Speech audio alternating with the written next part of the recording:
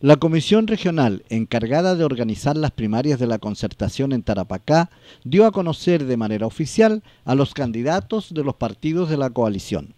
Estos cumplieron los requisitos para postularse como alcaldes en las comunas de Colchane, Pica, Pozo Almonte, Guara, Alto Hospicio e Iquique, donde debe prepararse ahora la segunda etapa del proceso.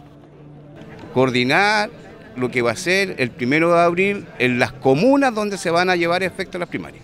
O sea, ahí hay otro proceso que va a requerir de apoyo de mucha gente porque vamos a tener que buscar los lugares específicos donde se van a realizar estas primarias. ¿ah? Los candidatos van a desplegar su, propuesta de, de, programa hacia la gente, hacia la ciudadanía. Entonces todo eso va a promover esta acción de las primarias dentro de los próximos días.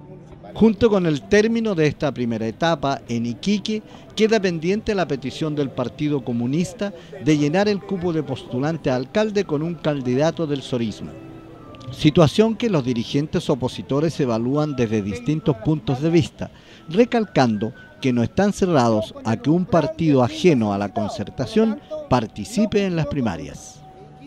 Bueno, la democracia cristiana ha manifestado tanto a nivel nacional como a nivel local que vamos a respetar los acuerdos. O sea, para nosotros respetar y ser organizado implica también el éxito en materia, en materia municipal tenemos una derecha que no ofrece, que está agotada, que no ofrece alternativa a los ciudadanos, creemos que es la posibilidad que tiene la concertación de, eh, digamos, implementar una nueva visión de cómo hacer las cosas a nivel local. Y creemos que las primarias, fuera, fuera de ser una opción eh, democrática para establecer una candidatura, yo creo que va a ser una opción para que todos los liderazgos, quienes lo tienen, quienes dicen tener mucha potencia, efectivamente lo reafirmen, se reencuentren con los ciudadanos y sobre todo, que es una de las cosas que al PP le interesa sobremanera, reinstale una discusión a nivel de la idea. Es decir, nosotros somos muy críticos de eso, somos muy críticos incluso al interior de la concertación, de que hay mucha gente que quiere ser candidato, pero candidatos sobran, pero las ideas faltan. Tiene que ser a través de primaria, porque si en alguna comuna hay dos candidatos, tiene que ser elegido democráticamente. Entonces el Partido Radical está lleno a apoyar todo lo que sea elegido democráticamente.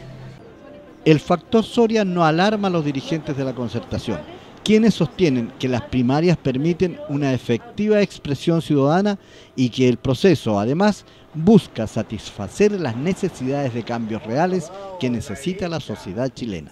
De la, que